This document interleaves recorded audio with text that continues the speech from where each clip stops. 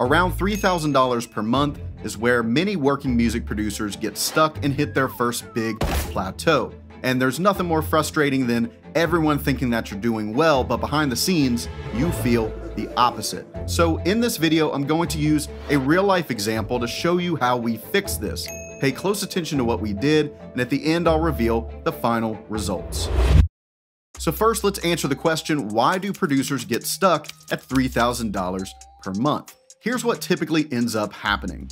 I was overworked, completely overworked, and underpaid for sure. So I was doing like 12 hour days, six days a week. That was Ahmad. He's a talented pop producer that we work with here at Dark Label, and he'll be the example that we use in this video.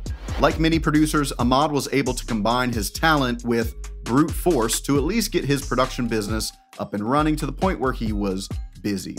But the lack of control, stability, and time was eating his business from the inside out. On the surface, everything looked fine. He was building connections in the industry, had a great sounding portfolio, and was a full time working producer. Everyone was patting him on the back.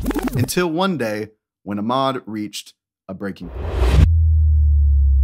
First of all, yes, the pain was great. Like, I felt like I have been doing this for a while now and the results weren't there in terms of how much I was working and how much money I was making. So I knew that something had to change. Like clearly what I was doing was wrong. That right there was step one. And it's the only step of this process that I can't do for you. Despite feeling stuck and not having a lot of extra resources, Ahmad made the decision that no matter what, he was going to figure out a way to get help solving this problem. But there are four more steps that I have to share, so let's move on to the next one. Step two was helping Ahmad maximize his current opportunities and get out of the day to day hustle because when you're in constant fight or flight, it's hard to even think correctly about your business long term. I had Ahmad make a list of all of his past clients, and then we presented them with a new retainer model that allowed Ahmad to increase his rates and deliver a better experience, but also made it easier for his clients to keep working with him long term. And the clients that I'm working with are the same ones that I used to work with before. And they've even noticed an increase in value as I have more time for them. You know, as I charge more, it means that I have more time to spend on the songs. So even the quality of the songs have improved. Now, this wasn't a fit for all of his past clients, but when I reveal the results at the end of this video, you'll see why that wasn't a problem. Step three was all about getting creative and identifying other ways to generate income and open up even more time for Ahmad to focus on his growth. I found someone to take the studio once a week. Hiring the studio out on a Saturday as well just gave him a little bit more money. Step four was protecting Ahmad's future. I taught him skills to make sure that he had a few new ways to bring in work whenever he needs to.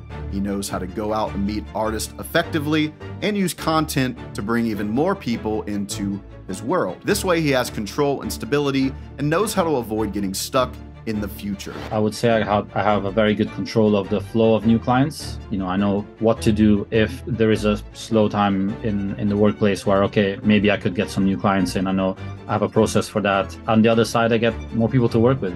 So even my anxiety behind the whole business has decreased massively and I feel like I have much more control. Building a business is one thing. Building a moat around our business to protect it in the future is a whole nother skill.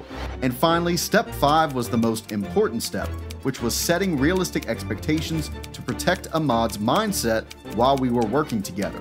This is why Ahmad came to Dark Label in the first place. I had other several meetings with like other business coaches before I found Dark Label, and just to be completely honest with you, they all had very big claims like, "Oh, you should be earning six times as more and everything," and I'm like, cool, it just sounds great what you're saying, but do you mind backing it up a little bit? Or who have you worked with? And it just felt like I didn't really trust anyone that I've talked to before. It felt like they were all kind of selling to me. So after spending close to five years stuck in a plateau, feeling overworked and underpaid, let's check in on Ahmad and see how things are going today.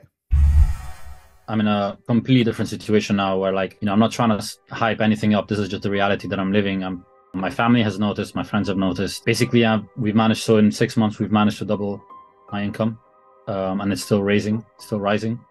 That was our initial goal together, and we've smashed that. Um, I'm working like 60% less of the time now. He doubled his income while dramatically decreasing his work hours. More money, more time, you know, better projects as well. In general, just an inc- like inc- incredible improvement. If you're ready to make a similar transition, then links to contact us are below. And make sure you watch this next video to learn more about the approach that Ahmad is using with his clients.